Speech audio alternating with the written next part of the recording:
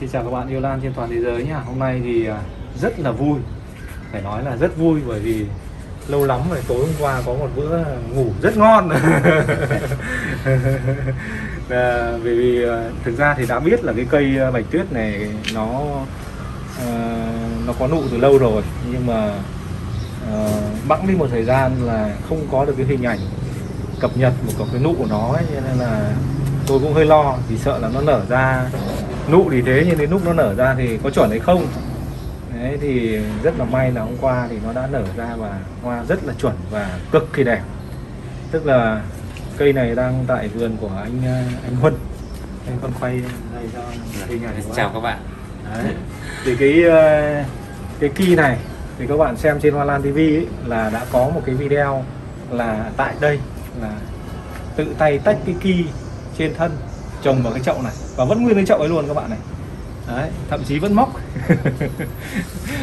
Và cái ờ, cái kẹp ờ, bằng bằng bằng ấy của bác này nó nó dỉ rồi nhưng mà cũng vẫn để nguyên chưa chưa bỏ ra. Nhưng mà lần này về thì sẽ phải bẻ nó đi thôi tôi sợ nó. Đấy, cái dỉ này nó nó chọc vào con sợ nó nó, nó sẽ bị bệnh. Bỏ đi. Đấy thì à, rất là vui là bởi vì cái cây của tôi ấy, mang về thì nó to hơn. Nhưng mà test hoa đầu ngọn nó không ra hoa. Nhưng cái ki này của anh Huân thì tách sau cái ki này một tháng. Thì cây này nó nhỏ hơn nhưng mà không biết là duyên của anh thế nào mà anh test thế nào mà nó lại ra được bông hoa test sau cái này Ờ, luôn. rất là xem xinh. anh ờ, làm clip xong bắt đầu Vâng. mới mới mới cũng test theo. Dạ. Nhưng mà cũng ngoài AB thì cũng có một giọt là- một hôm một giọt uh, PG đỏ này. À, thêm thêm thêm gì đỏ nữa. Khả năng nó nó tăng thêm liều. Thì cái cây này của anh Huân ấy là nó có một cái mầm gốc.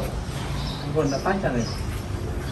Đấy, tách ra mà không biết là đang đang ừ, không biết có bí bí quyết, bí mật gì không, mà tại sao anh Huân anh chăm kiểu gì mà cái lá nó bạch tuyết mà như lá mít này. Các bạn thấy không? Tức là đây nhé các bạn nhìn nhé để cho nó gần nhau lại tí. Các bạn nhìn thấy này, cái lá của cái thân mẹ này nhé với lại cái lá của thân bên này nó rất giống nhau. Nó cùng ờ, cùng ờ, tức là nó cong cong cong cong, nó gập cái đầu ngọn xuống này.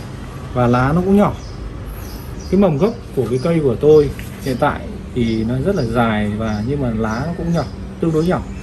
Nhưng riêng cái này cây của anh Huân này thứ nhất là nó đốt thì nó sụt dịt lại.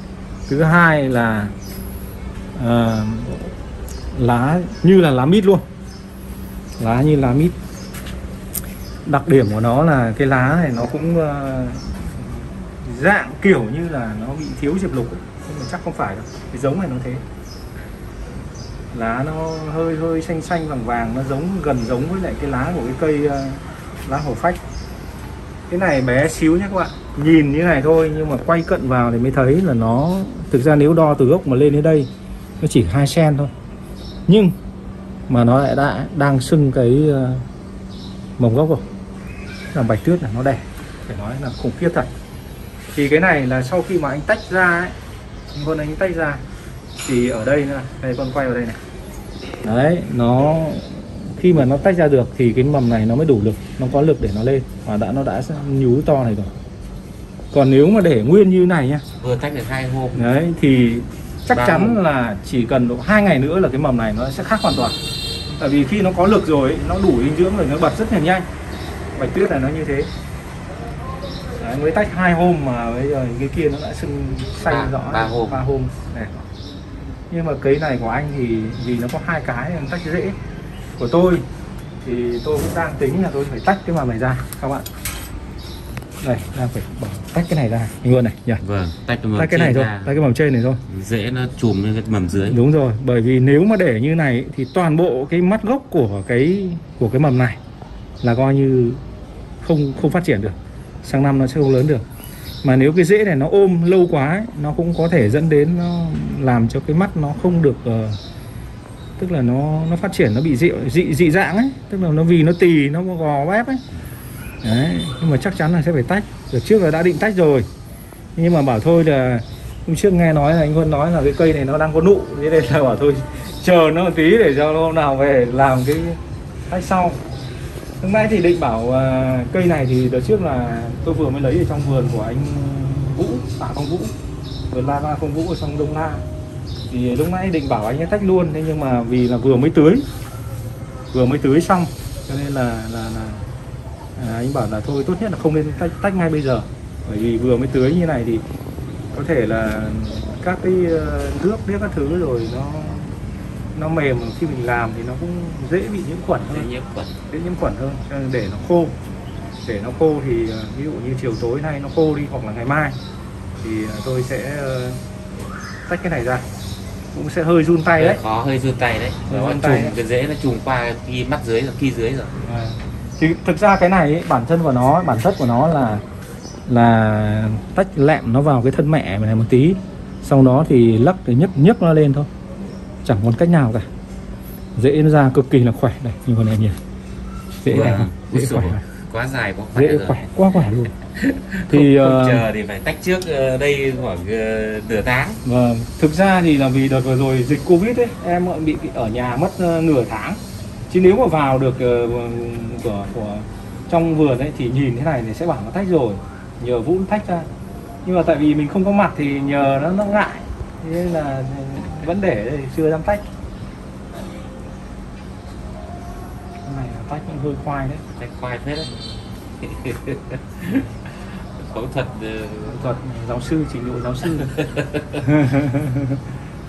Đấy, cây này là tôi có gắn tem từ cái hồi mua lấy của anh Huân về sau một thời gian là tôi có cái mã này tôi gắn tem cho nên là ví dụ như sau này ấy, ờ, những ai mà chỉ cần đưa cái máy điện thoại camera vào đây quét vào cái mã QR này là nó sẽ hiện lên toàn bộ hồ sơ của cái cây này từ cái ờ, lúc ngày xưa cái hình ảnh lúc ban đầu cho đến bây giờ phát triển. Từ cái lúc mà ngày xưa lúc nó nhú ra được có một viên bi thôi xong nó nhú ra hai cái sừng. Đấy và bây giờ thì nó lên được ba cái mầm gốc như thế này. Thực ra cái mầm này nó đang rất có nguy cơ nếu mà không không tách cái này ra nó nguy cơ mầm này nó sẽ bị đứng. Vì nó À. không không không không cạnh tranh nổi dinh dưỡng với hai cái thằng kia cái này nó ra ba cái hoa nhưng mà tôi cắt đi hai. À ba hoa. Cắt đi hai ờ, đúng rồi cây nó nhỏ quá. kia nó nhỏ cây, quá. cây nó nhỏ quá mà, à, đây này con quay cận vào đây cho bố xem. Đây các bạn xem nhé. Bạch tuyết ấy thì ờ, thực ra đến bây giờ trên thị trường thì mọi người đều mọi người vẫn chấp nhận là khuôn của bạch tuyết. Và có những cái bông nó là mũi nó hơi màu một chút và có những bông là trắng tuyệt đối. Con Và- này là mũi trắng tinh rồi. con này thì được một cái rất hay là mũi trắng tuyệt đối luôn trắng tinh. Thực ra thế này mặc dù nói là hai cây đều là chấp nhận nó là bạch tuyết đều đấy cả nhưng mà nó nở ra một cái bông mà nó hơi mũi màu thì nó cũng buồn hơn. Nhìn nó cũng sướng bởi vì sao? Bởi vì là nói đến bạch tuyết mà mũi lại màu thì khác nào bị ờ, mông má đánh phấn đó cách, cách chăm sóc rồi ờ, rồi rồi ờ, kích như thế nào đấy có thể nó ra mũi màu ra mũi màu.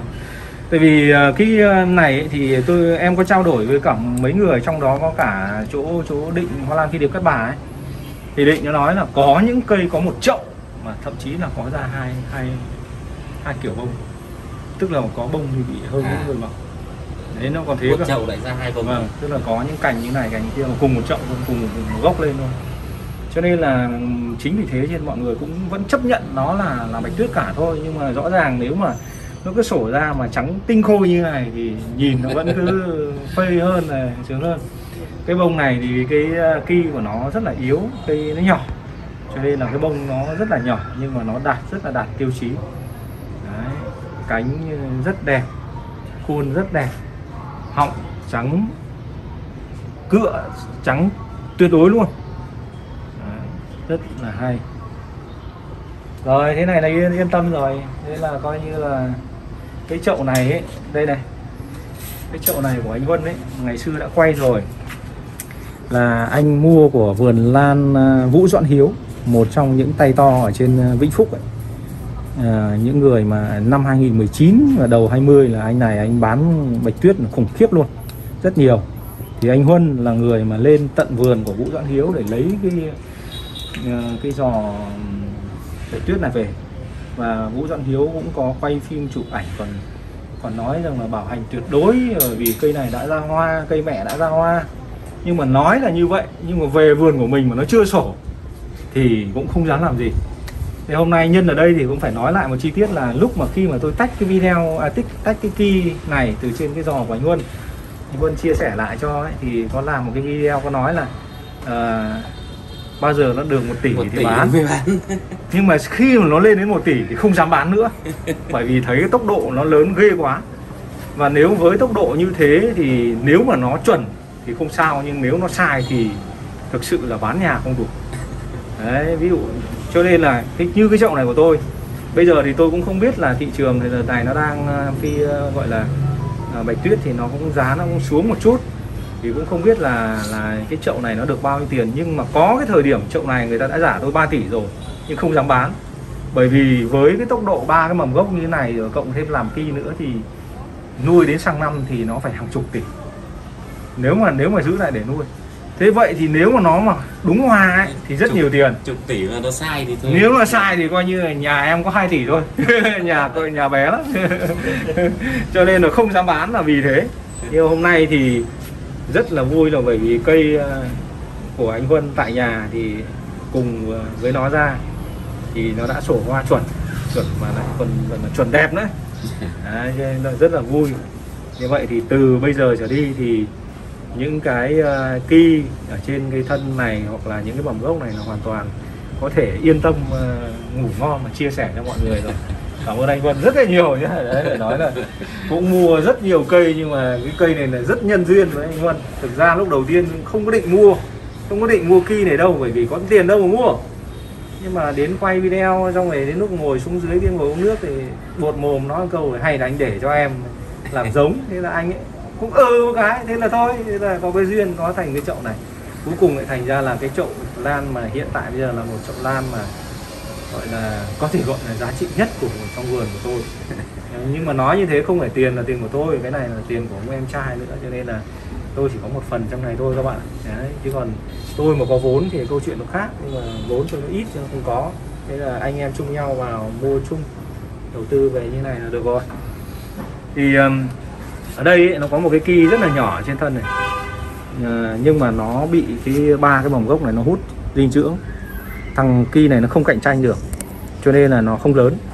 Thì à, sau khi mà hôm nay về tôi sẽ cắt cái này ra. Tôi sẽ cắt cái này để tôi trồng trồng riêng nó ra. Sau khi trồng riêng nó ra thì lúc đấy chắc chắn là cái mầm này nó sẽ lớn. Và sau khi cắt ra rồi thì mình sẽ lại nhỏ thuốc vào đây để cho nó một là nó lên kỳ tiếp hai là nếu mà nó ra được bông hoa ngắm càng vui. Đấy. Thì um, Ờ, cái cái cái cây này là đã test hoa đầu ngọn nhưng nó không ra hoa. Thì thường mà test mà nó đã không ra hoa thì về, về cơ bản là cái cái cái mắt này nó rất là dễ bị trên đầu này có thể nó bị chai rồi. Thì bây giờ mà muốn muốn để cho test hoa tiếp ấy thì chỉ còn một cách là cắt đi thôi. Thì cái này lại vừa nhân thể là nó có cái kỳ ở cái mắt thứ hai này thì mình sẽ cắt đi. Cắt đi xong rồi khoan cái lỗ ở trên trên trên này xuống và khoan chéo à, khoan ngang ở phía dưới mắt này một cái nữa xong rồi bơm thuốc vào là nhưng mà mình cũng không thể. cần test hoa nữa thì mình Đúng không rồi. cần làm thế. Mình không cần. Mình làm thế thì thì thì nếu mà nó ra hoa hoặc là nó sẽ hơi sợ nặng thuốc thì mình nhỏ AB để cho các cái cái ki này nó cái cái mắt này nó lên thành vâng. thành ki thôi. Đúng rồi. Tức là cắt thì chắc chắn là phải cắt rồi. Cắt thì nó mới thằng này nó mới mới mới mới lớn được. Dạ. đấy nhưng mà sau khi cắt xong thì mình tất nhiên nhỏ thuốc và tí vào cho nó nhẹ nhàng thôi chứ còn bây giờ nó ra hoa thì ờ, để ngắm thôi chứ còn nó ra ki thì nó mới ra gọi là ra kinh tế bởi vì có thằng này hoa rồi thì yên tâm rồi. Xem nghiên cứu là tách cái mầm dưới hay tách mầm trên. Nếu tách mầm trên khó quá tại vì nó nó nó kẹp sang hai bên rồi. Vâng. Hơi sẽ sợ hơi khó. Nếu mà tách dễ đi thì thì tách. Mà tách khó quá thì thử tách mầm dưới làm sao. Cái này ấy là em nghĩ là buộc phải tách mầm trên anh ạ. Bởi vì cái mầm dưới ấy là nó là từ cái cũng được nếu mà tách từ mầm dưới thì là tách thẳng từ đây vào. Vì nó cái mầm này nó là của cái bi này. con cái bi. Con của cái bi này. Thì chỉ có mỗi một nước là đưa mũi dao vào đây tách từ đây xuống thì nhổ ra thôi. Còn con này thì ờ, con này thì thực tính mà nói thực tình mà nói là nó cũng khó không kém gì cái con mà các bạn vừa rồi các bạn xem trên Hoa Lan TV mà cái con ờ, lá kẻ của luông ấy. Nó cũng ờ, đấy nhưng mà con này là còn chưa khó bằng con Cái đấy. rễ của nó trạc ra ba bên này. Đấy cho qua bên. Cả sang bên này mất rồi. đúng rồi. Thì bây giờ chỉ có mỗi một cái là Lách phải hướng nào nó khó phết. cắt được à, cắt được à, à, lách vào cái này. Làm sao để không phạm vào cái gốc không phạm vào đế mà nó sẽ hơi phạm vào cái thằng thân một chút. Thế sau đó thì à, lắc lắc rồi rút nó lên giống như là cái hôm vừa rồi tách thôi. Đấy. chứ bây giờ mà nếu mà tách cái dưới ừ, tách cái dưới của ý của anh Huân cũng là một phương án hay. Tách cái dưới cũng là một cái hay. Ừ. thì nó an toàn hơn. Mà cách cái dưới cũng là một phương án hay đấy. Nhưng mà cái rễ của cái dưới này nó đang bị cái rễ của cái trên ôm. Cho nên là rút nó cũng sẽ hơi khoai. Thôi được rồi cái này tôi sẽ phải nghiên cứu thêm một tí gọi nếu mà những người mà người ta làm bạo tay ấy, thì thì cũng đơn giản thôi. Nếu nhưng mà làm dễ thì tách cái trên là hợp lý nhất. Đúng rồi tách cái trên này hợp lý hơn.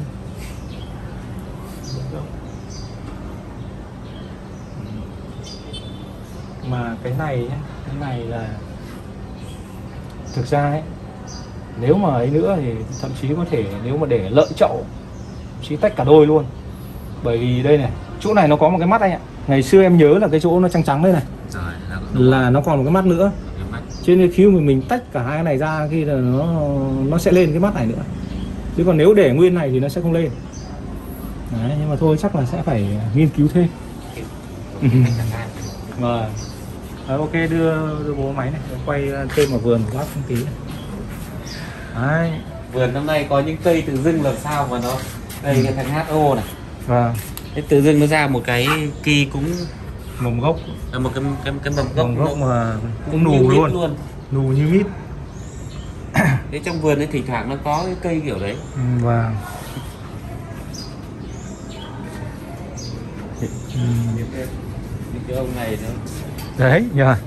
Hay có những cây mà này. ra mầm gốc nù rụt.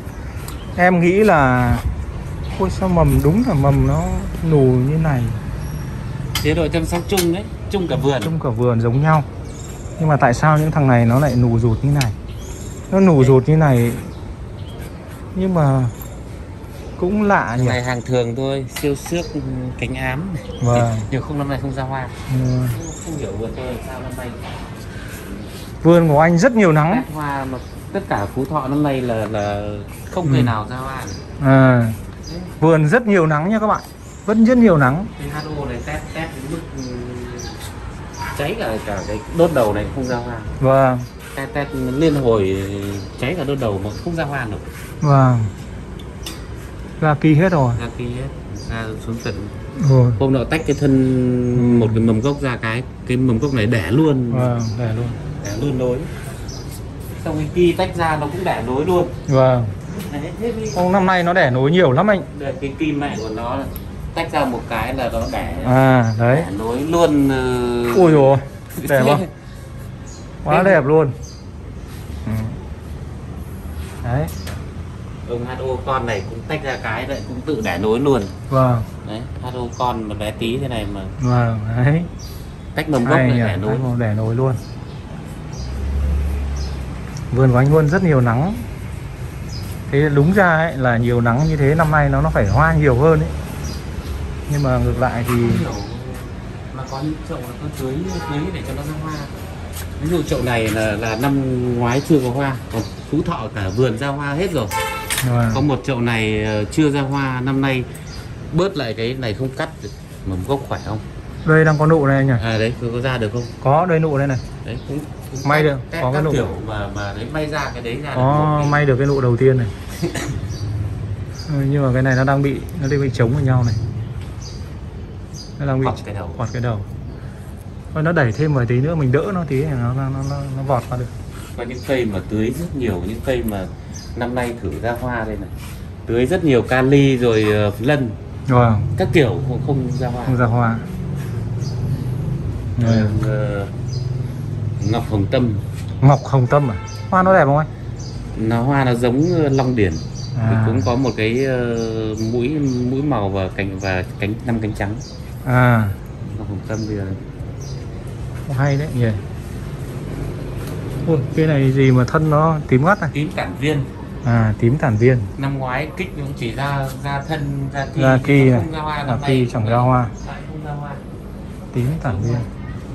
Nhìn cái bộ mầm gốc của nó đã quá nhỉ? Mầm gốc tím lịm luôn. Nhìn kinh thật. To. Ừ. cây này bao giờ có kỳ chi em nhé cái đấy nhiều kỳ đây ngọc tâm đây ba Ừ. cái. À. Ba cái kỳ ừ. Ờ, thế, thế để cho em chậu đi. Vâng siêu tầm. Nó giống thanh long điển và Ừ, các loại hàng nọ kia các thứ. Rồi lâu lâu mới trở lại. Vườn của anh ờ, Huân thì nhìn vẫn đơn giản đấy thôi nhưng mà chất lượng ngày càng tăng lên rồi.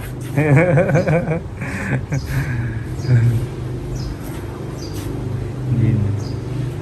Nhìn cái mầm gốc cái phú thọ này khủng khiếp. Vâng. Đợt vừa rồi nó nó bị la lỗi cả một cái chùm chỗ kia. Đúng rồi. Đang lên của em còn bị một cái To, lỗi khủng xong khiếp mình không thế này xử lý mà. thế là nó bị gọp sang một bên. Lên cái lá lỗi thằng lá lỗi này nó làm cho chậm phát triển. Chậm. Trông nó xấu cả cái xấu cả cây. cây. Ừ. rồi. Đại tướng. Đại tướng và đại tướng cũng ổn mà. Đấy đây quay trở lại à, với à, em bạch tuyết một tí để chuẩn bị kết thúc video nha các bạn. Bộ mầm gốc của cây này phải nói là cực kỳ đẹp nó cũng may mắn làm sao bộ rễ nó quá khỏe.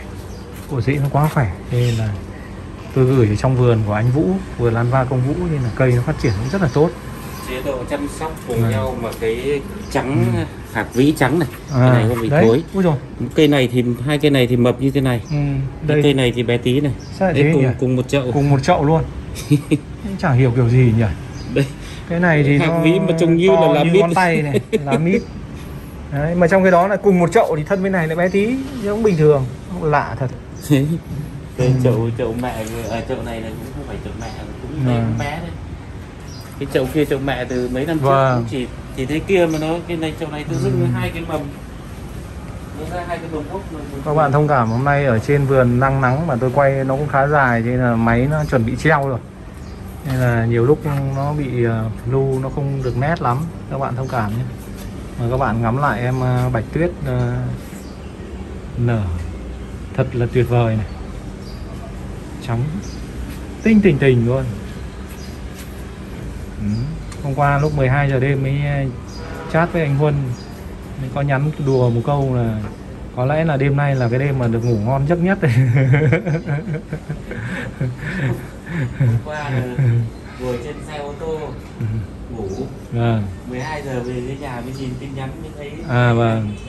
Em thấy ờ, anh ờ, đăng nhập ờ, trước đấy mấy tiếng em tưởng là anh có việc ngủ ngủ, ngủ sớm.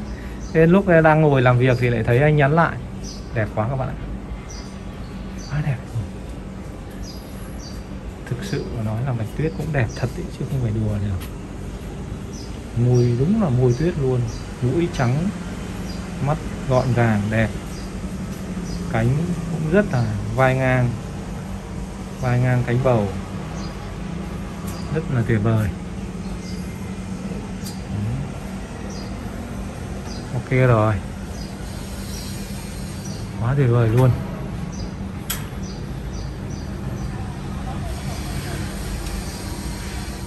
Ok, cảm ơn các bạn nhá. Một lần nữa cảm ơn các bạn rất là nhiều.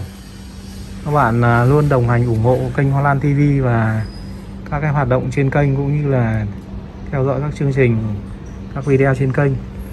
Và cũng à, một lần nữa cảm ơn anh Huân rất là nhiều đã chia cho một cây giống mà rất là tuyệt vời chuẩn giống rồi.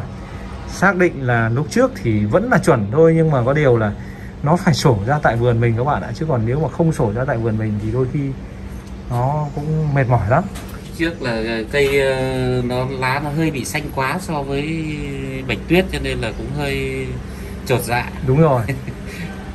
Cái cây này ấy, lúc mà em đang đi gửi ấy, lúc đầu tiên có nhiều người cũng nói với em là nghi sai lắm kìa bạn Đấy. cây con thì giống đúng hệt đây rồi. Vâng, đúng rồi. cây mẹ thì nó- cây mẹ lúc đấy là lại, lá nó lại quăn quăn quăn quăn nó xuống đây này các bạn nhìn thấy này. Quăn nó quăn quăn này quăn như HO luôn ấy xanh cũng gần như HO đấy. Lúc đấy là rất là ghê lúc đấy là hơi hơi lo đấy lo lo nhiều đấy. Nhưng mà sau khi mà như cây này chẳng hạn lúc mà dính cho một tí thuốc vào ấy nó phòi ra ba cái mầm gốc liền với lại một số đặc điểm nữa thì đấy là cái cái đặc điểm rất là lớn của của cây Ờ, cây cây bạch tuyết, rồi thân lá nó càng lớn, nó càng ừ, của mầm gốc này, nó càng giống ờ, càng càng chuẩn bạch tuyết hơn. Chứ còn lúc đầu tiên đấy là thực sự là lá nó quan quan này rất nhiều người nhiều người bảo tôi, ông ông xem lại nào như bạch tuyết gì mà lá ừ, quan quan cong cong cong đúng như HO kiểu này. Cho nên ông rất lo, nên là khi mà anh quân và anh sổ được ra đúng chuẩn cái này, phải nói thật các bạn là cũng nhẹ hết cả người. Đấy, bởi vì cũng mất công mất sức chăm sóc nó mà bây giờ nếu mà nó được một cái cây nó chuẩn ấy, thì nó rất là vui. Còn nếu mà bao nhiêu tâm huyết ở đấy? Tiền bạc nó là một phần đó các bạn ạ nhưng mà bao nhiêu tâm huyết ở đấy? Chăm sóc này nâng niu nọ kia bảo vệ nó nọ kia cái thứ. Thế mà nó mà không chuẩn thì gọi là thảm họa luôn. Nhưng mà rất may là nó là không những chuẩn mà gọi là chuẩn cực đẹp luôn. Ok cảm ơn các bạn rất là nhiều